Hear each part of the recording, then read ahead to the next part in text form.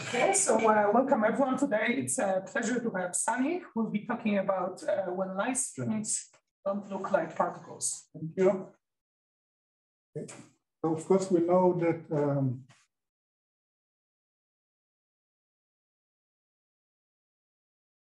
so normally uh, um, light strings definitely uh, look like particles and this is um, important for us. First of all, this is main, the main obstacle for making con contact with experiment. If we want uh, to distinguish between the two pictures, we have to put enough energy so that the string looks uh, large enough.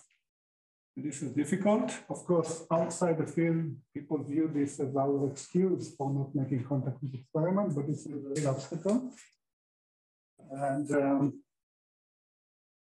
in large systems, this also means that uh, uh, strings look pretty much like particles. If I think about holes, cosmology, and we know that particles don't violate uh, the null energy condition. Um, so since strings look like particles, then they shouldn't violate the null energy condition either. And all the theorems about what cannot happen in cosmology what cannot happen, excuse me, in black holes is valid, loosely speaking, also in string. Of course, uh, what I would like to argue is that in time-dependent situations, this is not necessarily the case, and that there are strings that don't look at all like a particle. I will try to focus more on the theoretical side of this statement and maybe a little bit about what it means for uh, I think it's obvious that if this is correct, then there is a feedback to these issues. Okay, so there are two ways to uh, reach this conclusion.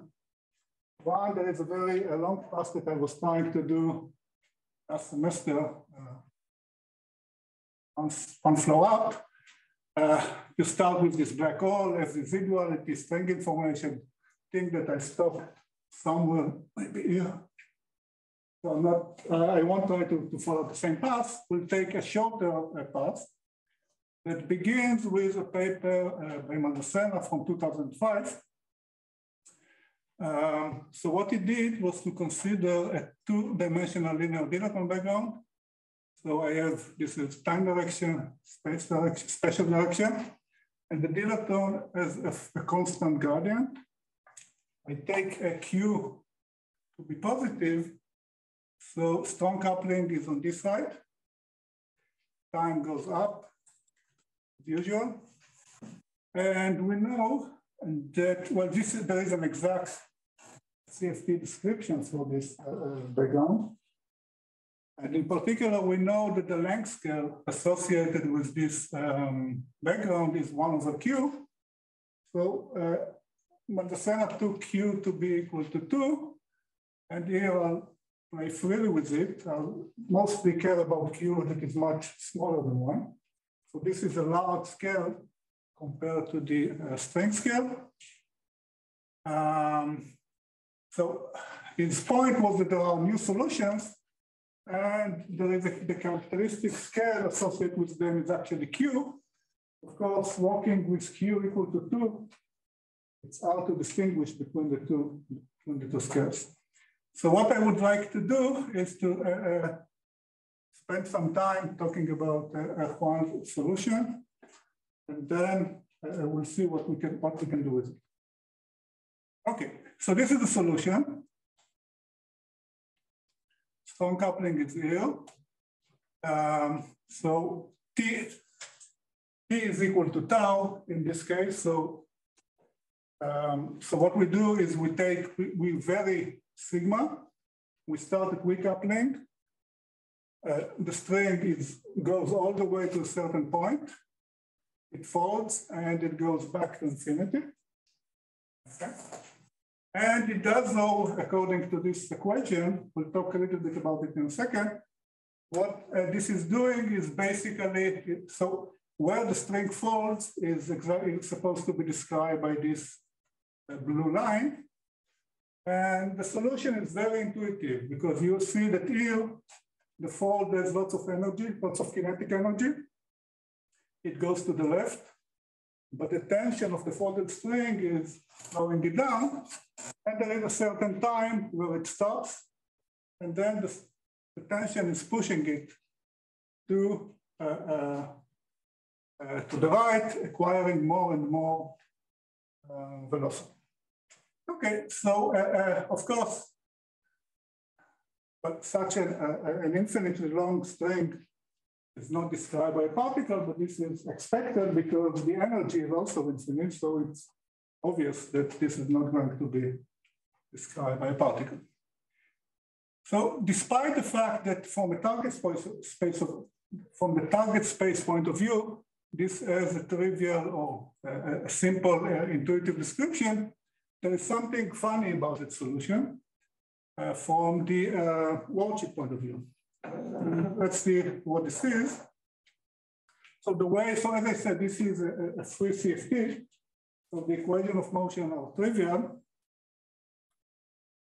The question is the Virasoro constraint, which is less trivial because of this linear dilaton term. And um, so, as I said, this is the standard term, this is the, the linear dilaton term. And if I was a bit more careful, then there is the, the string length enters here. And it's uh, uh, interesting in the sense that uh, if you think in effective field theory sense, then this is suppressed compared to this. But without this, you're not going to find a folded string solution. Okay? So the reason why this, this is possible is that it's true that this is suppressed, but it's linear. It's linear in X, so it can take over the constraint for, for a short while. And if you think about this folded string, then here, the standard uh, um, piece of the constraint is the important one it's possible to fold because of this piece. And then when you go back to infinity, then this takes over again. Okay? So the funny thing is that you have a term that naively should be ignored. It is suppressed in the expansion, but it allows for new solutions that don't exist otherwise. So now you can say, well, this is a very cute story, but still the, the, the target space interpretation is standard, so why do I bring this paper by Juan from 2005? The point is that if I uh, uh, play with it a little bit, then I can make the target space interpretation non-standard as well. So instead of having a, a, a dilaton gradient that is special, what you need to have is a time-like uh, um, linear Diraton. So this is the background. And I take you to be positive, so the singularity is in the future. And of course, this is maybe the simplest background, cosmological background that you have in string theory, people study this for many, many years. And most of the time, what they did was to take Q to be negative in that case, you have uh, uh, the motivation for that is, is, that you have a Big Bang like setup. Here you have a singularity and the future is, smooth. Um, but if you do that, you're going to miss uh, this object that I would like to uh, discuss now. So if you take, so we take Q to be positive, then what we have uh, is this analytic continuation of the solution that I described before, and this is how it looks like. So this is the, the uh, so we have tau now, starts, we start at infinity, we go back in time, we fold and we go up in time. This is what that solution is describing. And we do that again, this is where the string folds. It doesn't look very interesting if you think about it using these coordinates, but if you think about the target space interpretation, then the target space interpretation is quite non-trivial. Here I don't have anything. And all of a sudden something is created, it starts to grow, it becomes, uh, here it comes at the speed of light, becomes huge. Now, you can say, okay, but this is standard because there is some time dependence here. So we know that when there is time dependence, things are created. And the example that we have in mind normally is the Schwinger mechanism. And let's compare this to the Schwinger mechanism. Okay? So the Schwinger mechanism, what we have, we have this uh, uh, uh, worldline uh, description in which we have the Minkowskian section, which we glue to the Euclidean section here. Okay. And uh, uh, that gluing is costing us this piece of the action, which leads to this exponential suppression with the electric field. Now, this is just a picture, but it can be made very, very precise. And this, uh, so these fellows did it as precise as, as you, uh, it doesn't get much more uh, precise than that. Basically, they considered all the possible uh, uh, classical motions. They summed over them. They worried about the, uh, um, the zero modes and all other modes. They sum them and they get exactly the right answer. So uh, this picture is definitely um, something that we should consider. And if you look here, it seems very similar. The fold here is traveling at the speed of light. And you know, eventually the electron will travel at the speed of light and the positron. So you would think that this looks very, very similar, but there are important uh, differences between this picture and that picture. And I would uh, basically, maybe the best way to describe this uh, strength is to go over the differences between the Schwinger mechanism and the that's, that's what I'm doing. Uh, are you saying that the fold positions are roughly like charges, uh, analogous to charges? Well, right, so, so the fold, exactly. So it, it, looks as if this is really as if you're like. Can you see it from the effective action in the sigma model? That, uh... what I'll argue now is that this is not what is happening. Hmm. So because it, on the surface, the effective action looks different. Right, and it is different. Exactly. One has curvature coupling and the other one has this. Yes, very different. Mm -hmm. And uh, exactly what I want to do now is to go over the differences, which will um, emphasize why this is a non-trivial object. It's not, uh, it doesn't fall into the standard categories that we have is there an open string analog of your expanding string solution? Uh, no, so, uh, uh, well, there is um, there is an open string analog of the Schwinger mechanism. But that is just the open string, right? That's like. Yeah, but it is there you do have exponential suppression. I don't think that there is an analog of that. We can't think of just open string endpoint. Uh, well, that's a good question. You're saying if I can I do something on the brane that will do that? You cut the folded string. Yes, yes. Uh, I don't think that you can. Well, I don't know how to do it. Let's put it like that.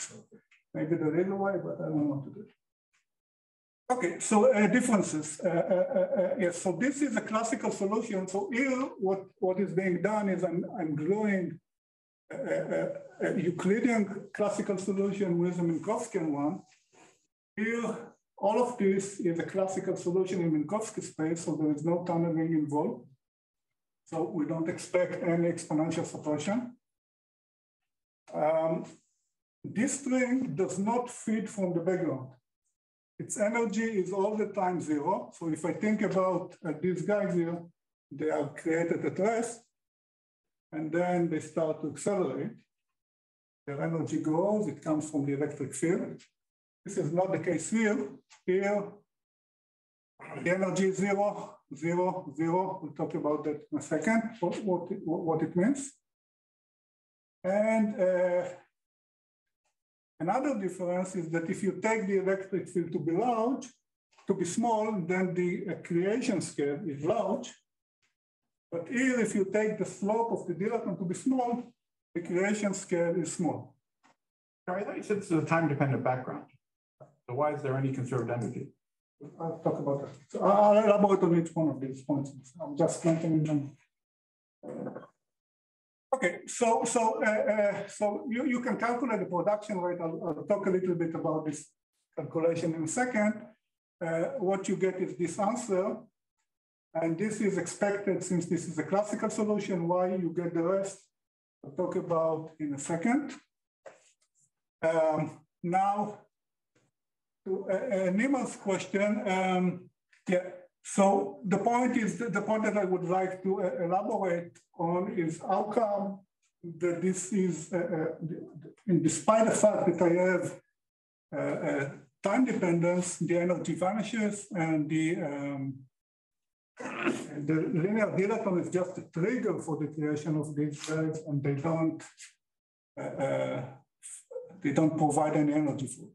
So the reason is basically that this background is invariant under time translation from the fundamental string point of view. And you can see this from the fact that you have a zero module. Okay, so in this solution, you can create it wherever you want and the energy will be zero. I should say the other way around. The fact that I can create it at any point means that the energy is zero. Now, uh, of course, of course, we did a calculation to check this. So you can calculate the energy momentum tensor associated with such a solution, and you can see that the integral vanishes. Okay, but of course we have a folded string here, so this piece costs less energy than that piece, etc., etc., and we have to compensate for this if we want to get a, a vanishing energy, and this is this is happening at a fold. So basically the way that it works is that there is a negative energy flux that feeds into it. So the string is feeding itself. The, the energy, the fact that the string is growing is not, is not coming from the dilaton gradient, but it comes from itself. So the fact that we have this negative energy flux means something that we normally don't like, and that the, the, the is violated. So if I take a slice and not slice like here, like here, here I have zero, here I have zero, we get negative contribution from this. And this means that these creatures, they uh, uh, violate something that normally is not supposed to be uh, violated. Well, actually, the quantum filter does violate the ANEC, except they do very special conditions. You mean uh, if you don't have a cloud? If in the kernel D doesn't, which is very scarce to, for the ANEC to be true. Right. But, this is a classical solution, so the fact that it's violated. But why can't the, quantum violates the null energy, if instead of ANEC, you said the null energy condition, the same clear, yes. possibly there's no energy condition. Right if quantum field theory violates it, why do we think string theory should not? Um, I, I like the solution. So I, I think that this is a feature the, of the, the solution. The, I mean, the line on which he considered the ANEC is, is uh, well, it's a, an inextensible line in Minkowski space. But it goes into strong coupling. Right. The just goes analogous to the singularity. Right. Right. Right. So if it is analogous to a singularity, that, that wouldn't be a good case of general.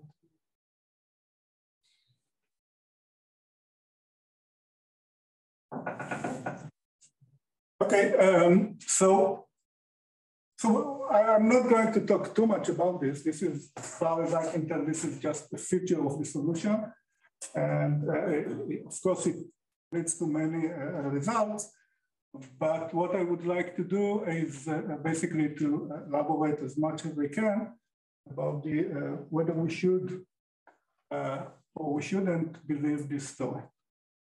Okay, so the third point was that the creation scale is tiny when Q is small.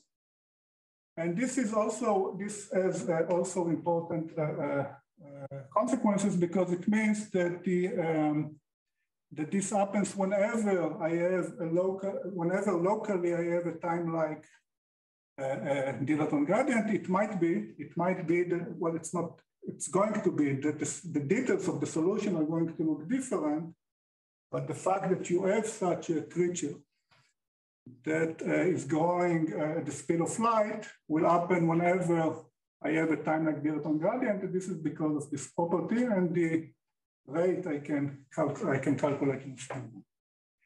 Okay, um, so the situation, so here is, the, here is the point. The point is that uh, these strings, which I like to call instant folded strings because they are created at an instant, um, they definitely cannot be approximated by a particle.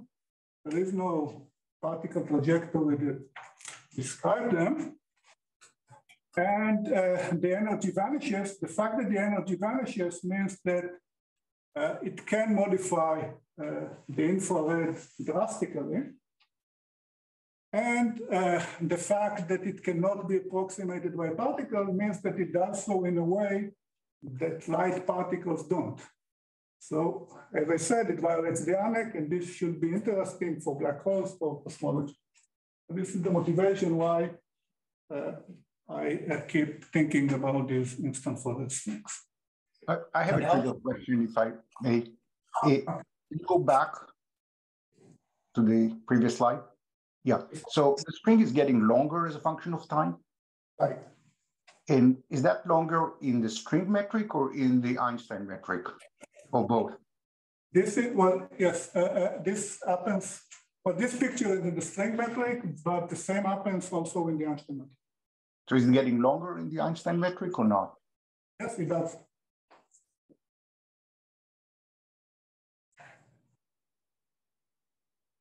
There, there is positive energy in the bulk of the string and negative at the top, at the tips. Right.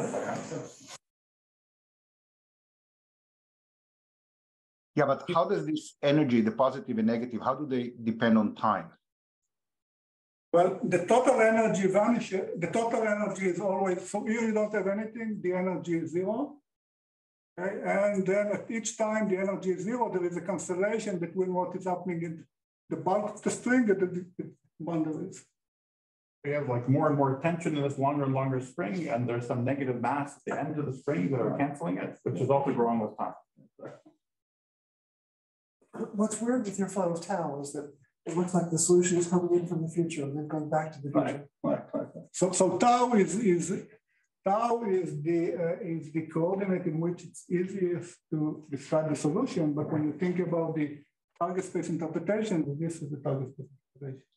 So that when I said that the energy vanishes, I, I mean with respect to t. So the induced metric on the portrait does it uh, change signature? No. The metric, the, the worldsheet is just R11. Oh, funny doing it. Basically exactly what you did. I'm not changing anything. As far as the, met, uh, the worldsheet. I'm still confused about the previous question. So the, is the tension getting smaller as we go to? The tension is constant. The tension is constant. There is this uh, uh, I think that the effect that you are worrying about is the dilaton effect, which takes you from one frame to the other. Uh, well, this is not, since, well, this is a function of t, but at any time the energy is zero, so it doesn't really matter. It's not that I'm, it's not that this part, that the boundary of the string is going, is transforming differently than the bulk of the string. So it's the, the, statement that the energy vanishes is true in the Einstein and in the strings, at the total energy. So, I know you explained already, but strong coupling is developing the picture. Yeah, strong coupling is okay. Yes. Uh, they travel faster than light? Yes. So the, the, the so here you can see that it's uh, infinite, and it, it's approaching the speed of light, the uh, infinite.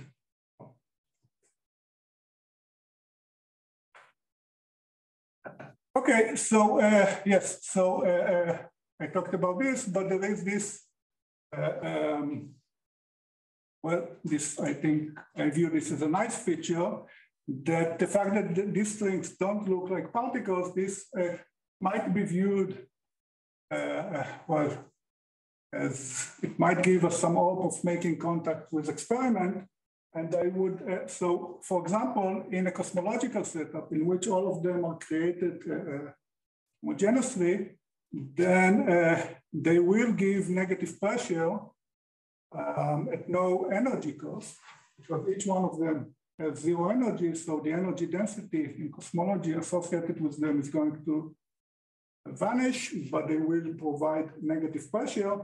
So they violate the null energy condition maximally. Okay? So if I'm being extremely optimistic, then, and if the other tension is correct, then there are some uh, uh, proposals that people made about early dark energy. Uh, and these guys can provide a similar, uh, um, well, yeah, a minute about that. So we sit here, dilaton is here, and we, the dilaton a coupling like that. So what will happen is that when we, there is a transition from radiation dominated universe to the uh, matter dominated universe, then this will kick in. So this will go up and down.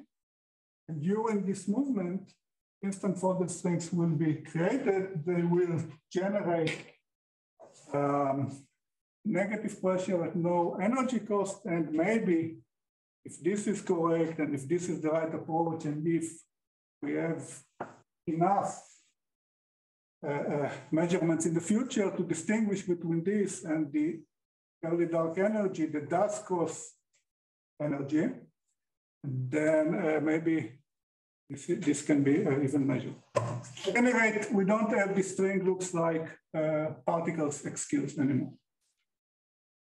Okay, what I would like to focus on is, is on the fact that because they don't look like uh, particles, they cannot be described as usual by one comma one operator on the worldsheet.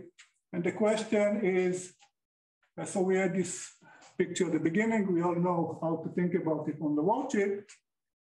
And the question is, what should we do with this, uh with this guy? It cannot be a one comma one operator. Well, we see this from this picture, but also from the fact that the solution as the worldsheet is R11 and it's not a cylinder, so I cannot think about it as a local operator on the worldsheet. So the question is what we can do. And uh, Juan was uh, uh, kind enough to give us the answer to that question in the space-like case. So in a space-like case, we know that um, it's not only that you have that, that these solutions appear, so I think that previously I had a singularity on the other side. So now strong coupling is zero. And um, we have the string here.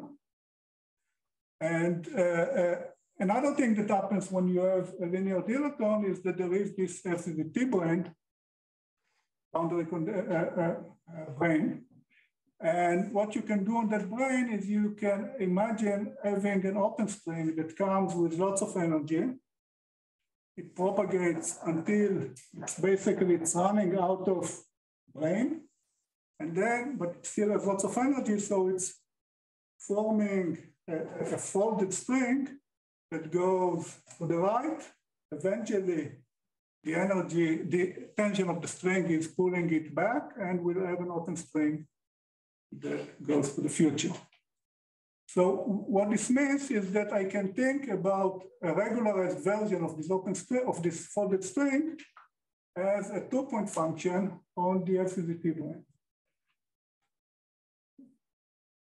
And uh, you can, to make it precise, you can see that this process is a pure phase.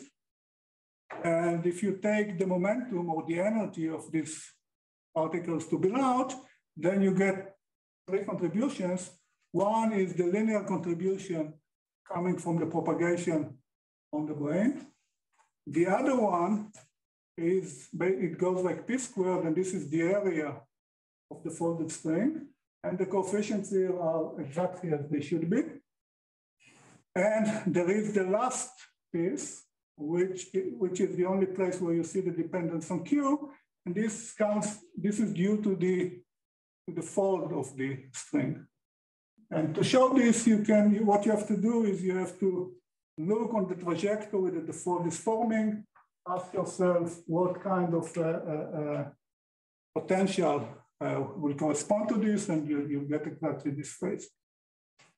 Okay, so uh, so the question is whether we can uh, rotate this picture or not. So before Juan's paper, there was a, very nice paper by Gutperle and Strominger, which appeared a couple of years before.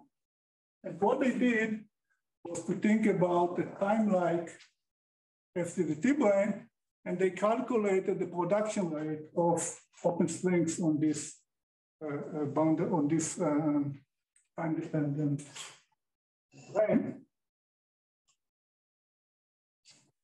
Now, they encountered many uh, puzzling results in the uh, calculation, and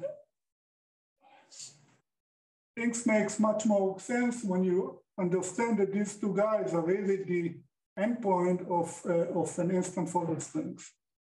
So uh, I think that presumably if the order was the opposite, then they would have uh, realized all of that.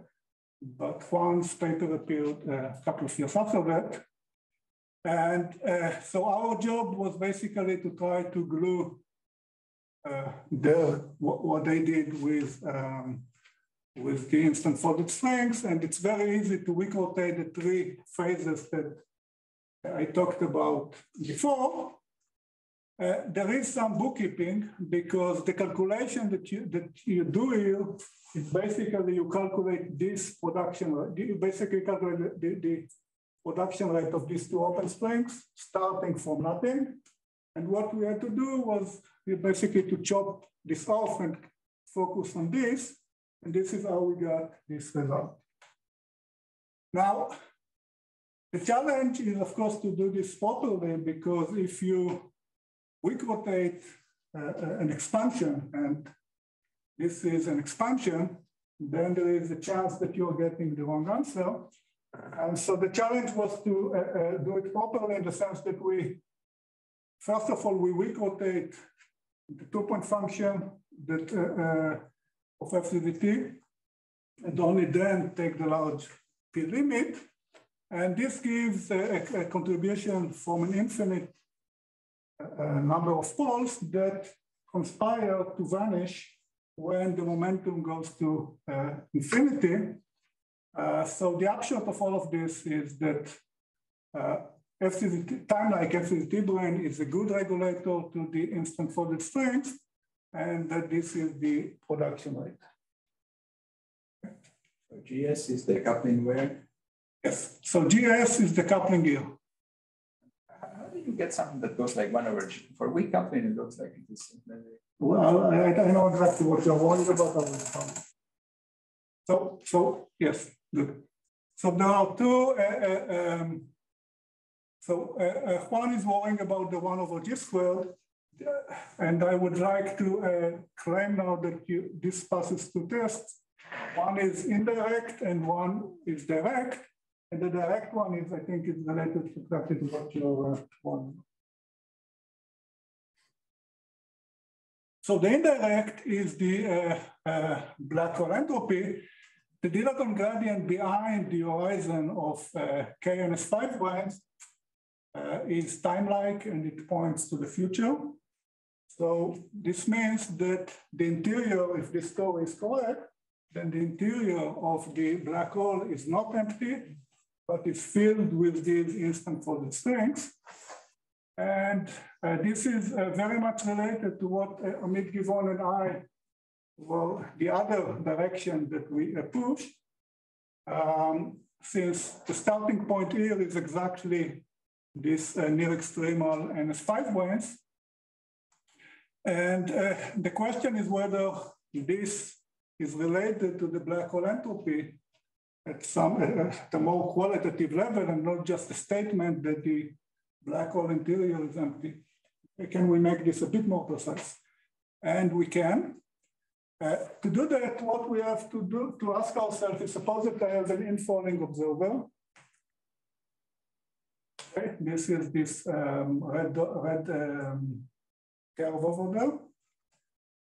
And we can ask how many instances, so if the black hole was empty, then of course, this guy would not meet too many uh, instant folded strings, but the question is how many instant folded strings this infalling observer will meet. And regardless of the endpoint, you can do a very simple calculation. Basically, each, so you, there is a causal diamond here. Every instant folded string that is created in this causal diamond will affect this infalling observer. This is a simple calculation to do. And you see that the number of instant folded strings goes like the entropy of this uh, black hole, which suggests that uh, the two are very much uh, related. Uh, of course, uh, to make this precise, we have to worry about the back reaction. Um, and the back reaction uh, is, is a tricky thing to do, but there is one, if, if I declare that I put all of them here at the horizon bifurcation, then you can show that the back reaction of the instant folded string will give you exactly ADS2, of course, with constant uh, uh, dilaton. And uh, the challenge here is to map, to find a map, if there is such a map, between the boundary of ADS2 and the lock of, suppose that I don't put all of them here, I start to move them around, what's the relation between the location of the instant folded strings and the ADS2 that uh, you get to. Okay. Um, so this is, so let's uh, talk about the direct test. So there is one over G squared here, and this means that this is a new uh, instability from the point of view of this background, of the finite linear background. Okay, uh, so if this is the case, then we should see it at the level of the sphere partition function. Okay, so let's think, uh, uh, ideally, we, we would do the following. We start with the vacuum at some time, and we ask ourselves what's the probability to end in the vacuum at a later time. Of course, if there are no instant folded strings, then that probability would be one. But if there are, then it's going to be uh, smaller than one. It's going to be given by this expression. Okay. This is correct, and that's that will be important in a second, when the, in the dilute gas approximation where Q is much smaller than one, Otherwise, the back reaction, how one affect the other will become important. And uh, if I plug uh, our expression that this is what you get, there might be a factor of two on here. You do this integral and this is what you get. Um, and the, the, the single particle, the single string partition function should be given by this expression. Okay? So there is a clear prediction here that the single string partition function in this case should be given by this expression. It is dominated by T naught because the string coupling is blowing up, it, it's going to zero here, and we, we have one over G squared. Okay? This is why all of this is controlled by what is happening here. Of course, in string theory, I cannot do this calculation. I cannot just declare that I start here and I end there.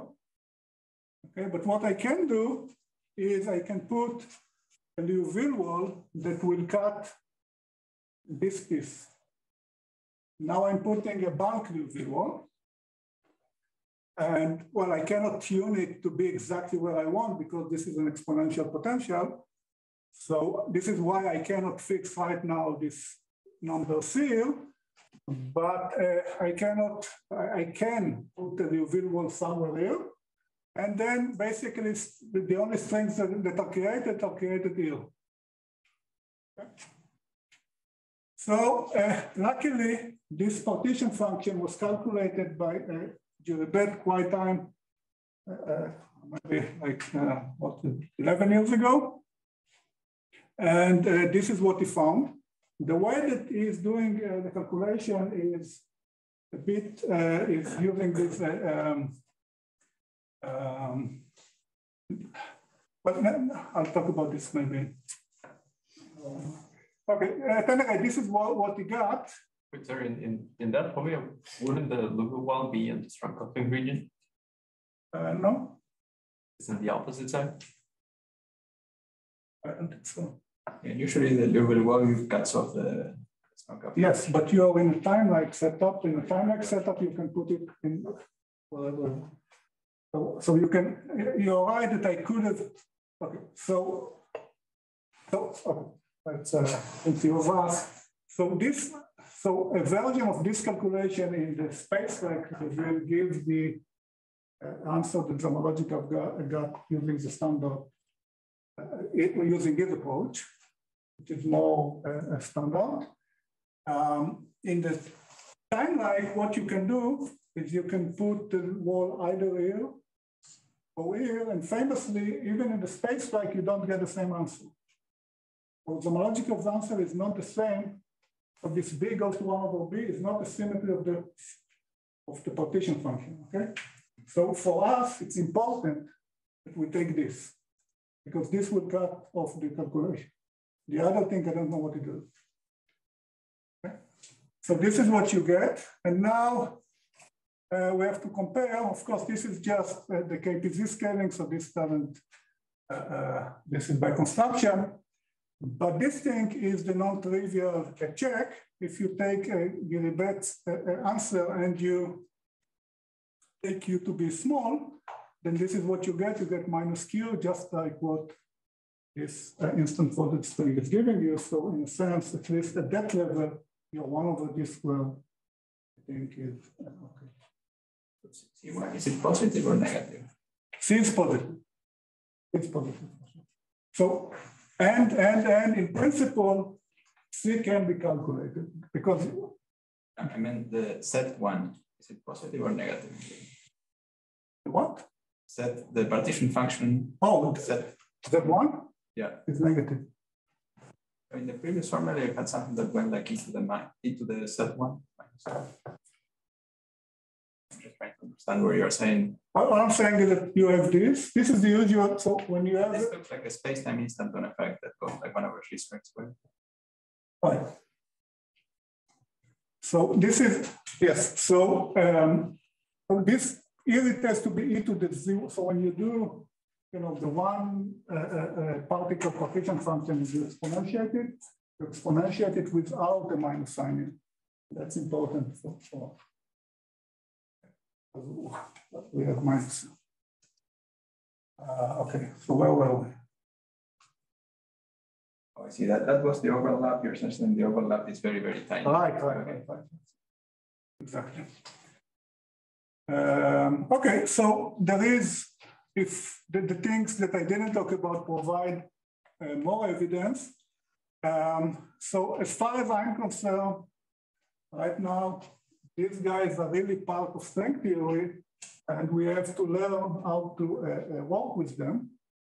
And uh, another question that I would like to talk, uh, to address now is are they alone? Basically, do we get instant folded uh, and instant folded uh, NS5 branes and other things like that. And the conjecture is that we do. Um, so let's uh, uh, take the, the, the, long version for all of this. So one way to see this uh, is to uh, consider a version uh, of the um, thermofield double that we are all familiar with in ADS5 and to consider instead near extremal uh, D1 branes. So this is a, a slightly less familiar uh, uh, large N case. So what's happening there is that the theory is well described the UV using perturbation theory. When we go to the infrared, we go to strong coupling and there is a, a, a type two background to describe the theory. Eventually, it becomes strongly coupled. We have to apply S duality, and we have another background that describes it. And at the deep infrared, there is a matrix a string description, which is also perturbative. Okay, so here we have perturbation theory, here we have perturbation theory, and here we have a background. Okay, so since we have perturbation theory, we can write things in the usual way. And since the theory is on a, on a circle, then uh, we get a discrete spectrum and a Poincare recurrence is clear. And now we have Poincare recurrence at the deep infrared, we have Poincare recurrence at the UV, and the variant of uh, uh, Juan's version of the black hole information puzzle is what's, what is happening here. So uh, just to remind you, uh, uh, this version of the black hole puzzle is the following. The horizon is always smooth for a black hole, which means that near the horizon, we can we have a, a continuous spectrum. And as a result, there is no uh, Poincare recurrence, while here clearly there is Poincare recurrence. Okay, so uh, I would like to uh, argue now. So there will be two steps uh, uh, argument now. The first step is to argue that this question mark can be addressed using instant folded strings. And then the question is what is happening here? And I would like to argue that instant folded D1 branes will appear. Okay? So this, this is the logic. So uh, if I go to the near horizon of near extremal fundamental strings, if I take n to be large, then as usual, I end up with Minkowski space, uh, nothing special at the horizon. There is a small dilaton uh, which uh, points away from the black hole uh, uh, if you are going from the horizon, if you are thinking about the um, going in the space side direction, but towards the horizon uh, in the upper and lower uh, wedges. Uh, so this is definitely not too exciting for ordinary strings. They will just propagate. They might get a tiny kick to the left or to the right, but they will just propagate them. But if you think about how strings can fold, then you see that something funny is happening because strings can fold here. This is a time-like direction. It points to the future, so string can fold in this direction. Here, the uh, gradient is to the right, but this is a space-like direction, so strings can fall towards that point as well, and as well in these other two wedges. Okay. So in, in particular, what you can have is you can have an instant folded string that is created here, and it penetrates a bit to the right and left wedges before it decays. Okay, so again, when epsilon is small, the production rate is, is tiny. So you should not get too excited about the uh, creation of instant folded strings. But the, but the uh, uh, eternal black hole is eternal. And if this guy exists, then all of these boosted guys also exist. And it means that if somebody is trying to fall into the black hole, it will have to uh, cross an infinite number of instant folded strings. And this seems to support this proposal that uh, Barbon and Rabinovici had uh, as a reaction to uh, uh Juan's paper, that a string structure just outside the horizon is what is needed to, to find a detailed agreement between the two-point function at that time. Okay, so so previously we said that you know there is a smooth horizon, there is a continuous spectrum, so no Poincare recurrences.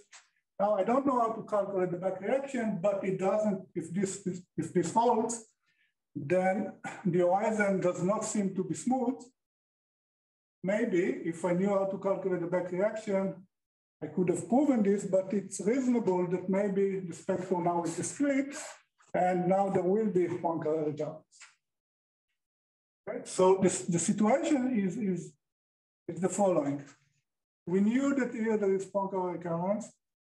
We have an argument why there might be Poincare recurrence here. And the question is what is happening here? Now, if this is correct, then it makes no sense that there is no Poincare recurrence here because this is just a transition in supergravity between one black hole to the other. But instant folded strings cannot do, are not uh, help with, cannot help with this question mark because if they are created, they are created in the future horizon, they are not created in the uh, past horizon. So something else has to uh, uh, save the day. Now, this background is S dual to this background. So the naive proposal is that uh, when we go to negative epsilon, then oh, when we have a time-like dilaton gradient that points to the path, then it triggers the creation of instant folded uh, D1 branes.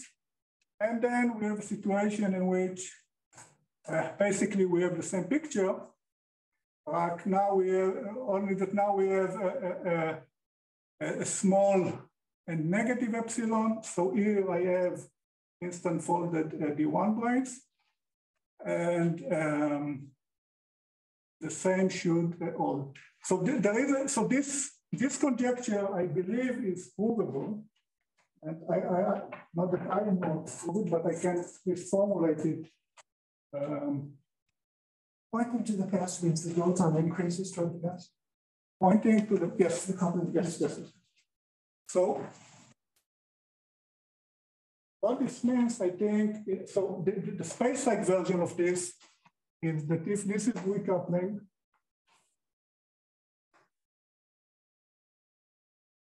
this is weak coupling this is strong coupling, then so I have singularity here, then I, the space-like version of this would mean that in, in such a, a, a case, there should be a, a D1 brane, a folded D1 brane that is following this um, uh. Now, it feels like this, so the there is is uh, uh, hairpin. Hairpin is a, a brane that is doing something like this in Euclidean setup. And if you analytically continue time, so in the Euclidean setup, there is the exact uh, boundary state that correspond to the, the hairpin. If you analytically continue time, you get something that is doing this. There is a large scale here. And I think that this creature should be basically, if there is a D0 brane here, then there should be a D1 brane that is glued to it and it's making it look like that. Or at least at the level of pictures, and if this is correct, then we analytically continue and we prove this, this conjecture. So uh, I think that there is a chance that this is uh, provable.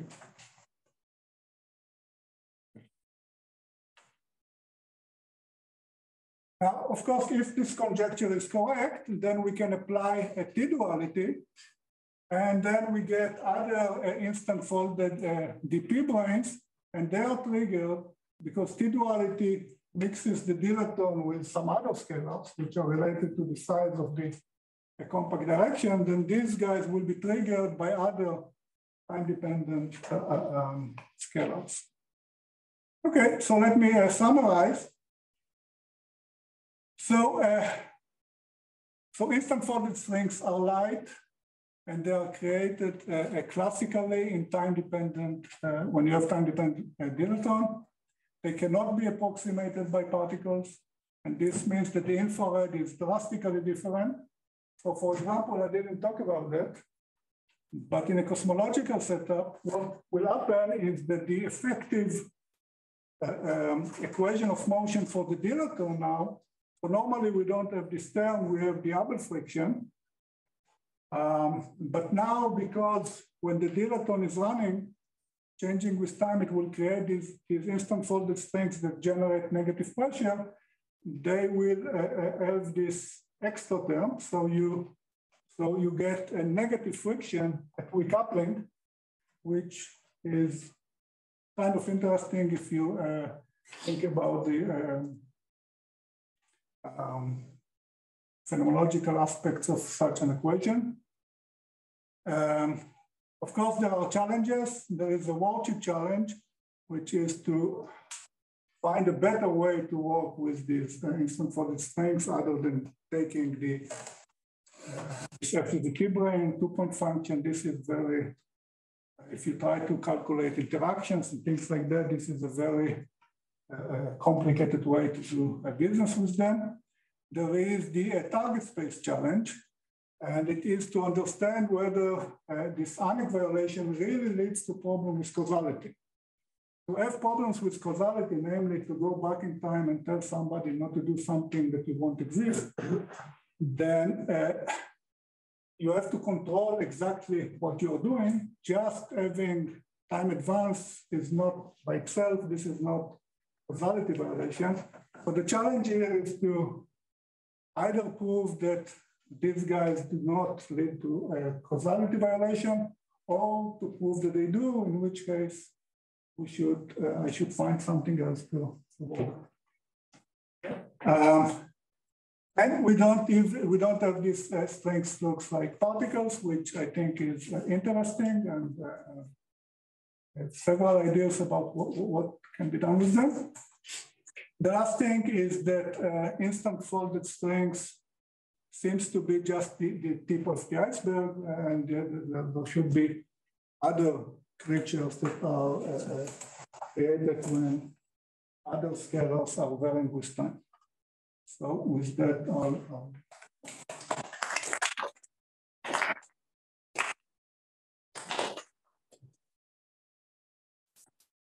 Is the whole story one plus one dimensional? Hmm. Oh.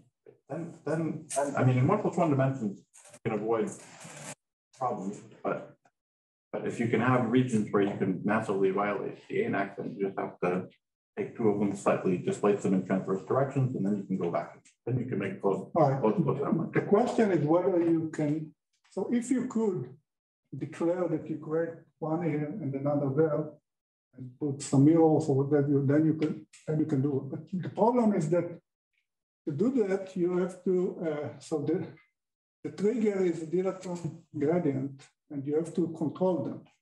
And when you do it, you are paying, so, so the dilaton gradient here should be different than here. You want, suppose that I want to have an object here and here. So here I have something, here I don't have anything, and here I have something. So there is a second derivative. Now, uh, it's different. You can make it change it very gradually, right? right. But then, yeah. but then, but then, what's happening is that you, because of the uh, beta function equations, you will have curvature or if you want, there is energy momentum tensor associated with what you are creating, which uh, uh, will make it much more difficult to. Uh, as far as I can see, there is no obvious way to violate causality. Okay. But uh, this is. Uh, would you say that strings wound around the compact dimension act like particles? You take that. I mean, those are created, certainly created by one one vertex operator. Right. Strings but if this compact direction, so what do you want to do with the compact? Oh, you want to take it to be the critical uh, radius? Or? No. Well, if there's sort of wound around the large distance. Really. But then they cost uh, uh, are not light. If the distance is right. So the question whether you can have something that is light and doesn't look like a particle. Mm -hmm.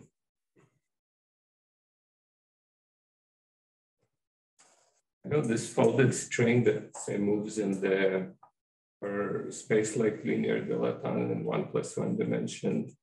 The, the moving fold, there is a kind of dual picture where you if you continue time to Euclidean, then you it's related to winding and rewinding correlator.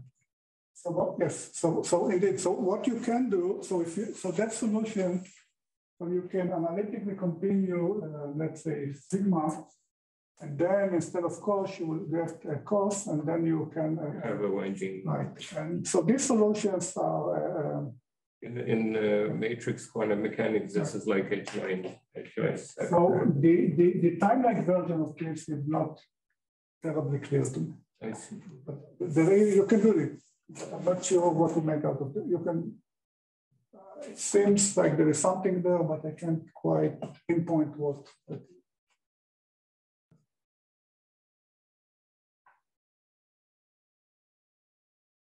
Yes, so you, so uh, you have this positive tension string and these sort of two effectively negative mass particles at the end.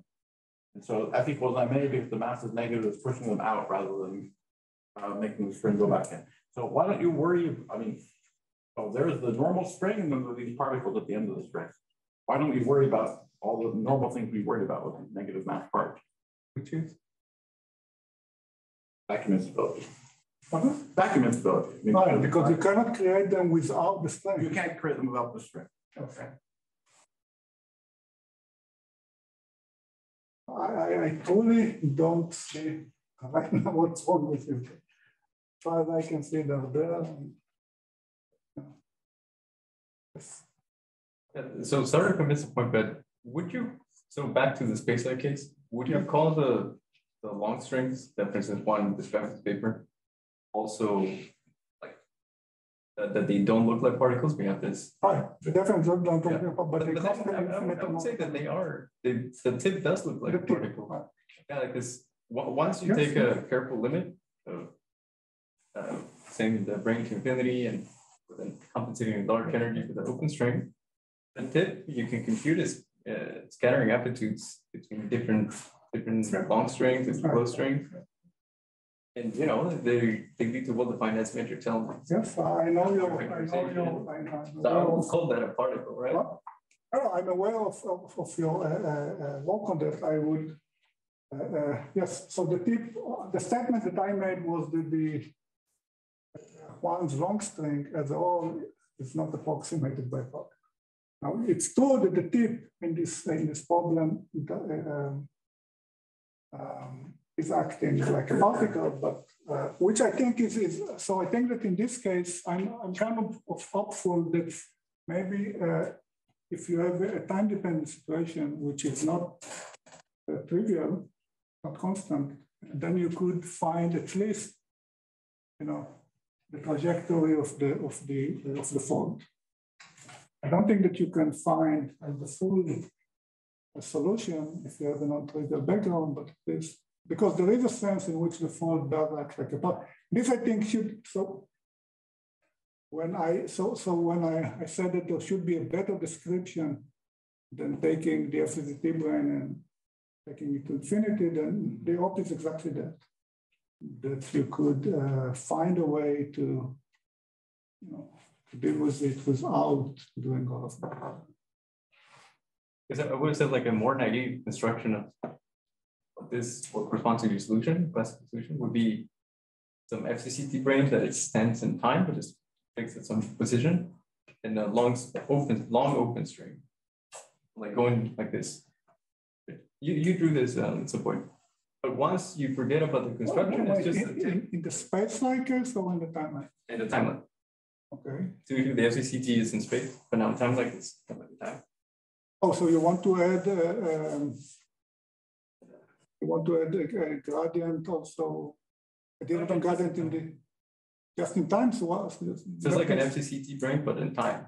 Right, so this is uh, Right. what Strominger and Gutperle studied, yes. But then you would forget about that construction and just say the tip of that long string is just a particle. I would love, I would love to be able to do. it. All I'm saying is that I don't know how to do. it. It's a weird part. I also don't know. A negative mass part. But, but that particle is not going to capture everything. For example, in the cosmological setup, the reason why you get the negative uh, uh, pressure at no energy cost involves also the strain. So you cannot, if you, i- it cannot be just a particle because then you have uh, exactly, I I was saying. So. Basically, you- you're getting the tension of the string, but, uh, uh, sorry, getting the pressure of the string, which is negative, but the overall energy.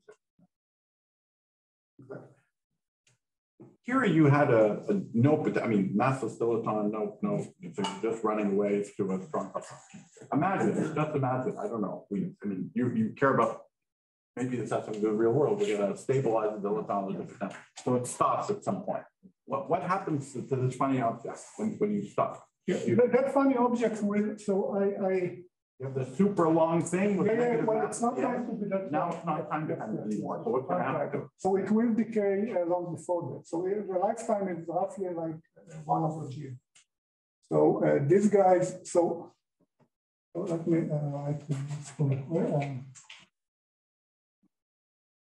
So if I think about cosmology, then uh, they will give you a, a negative pressure that is roughly, this is the dilaton, uh, one over g squared. And then there is the lifetime of the, this creature. The lifetime, eventually they will decay because you can can break. So this will also go like one over g squared. If you multiply this by g Newton, then what happens is that you get What is it breaking to? I mean, uh, is it breaking to something else that has these negative masses on this endpoint? Is it breaking into other?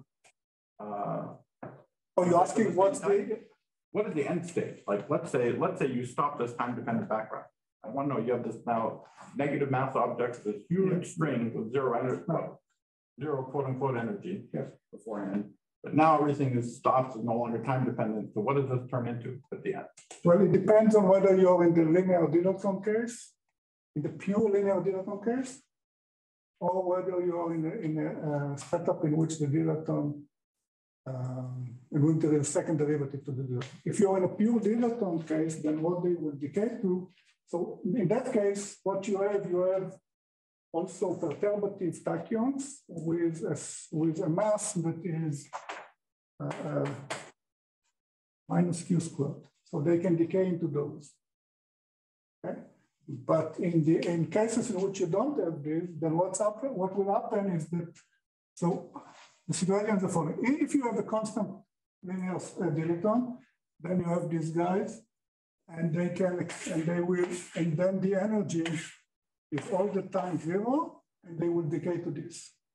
If the second derivative is, is non-trivial, then what will happen is that their energy will grow a little bit because will, because then the background there is some dependence on time. In cosmological setup. Okay, and they will decay into mass particles. But at any rate, their lifetime is one over g.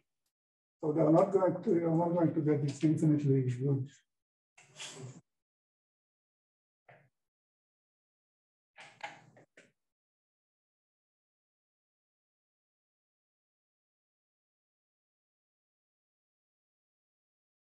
Do we, do we have any last questions, maybe on Zoom?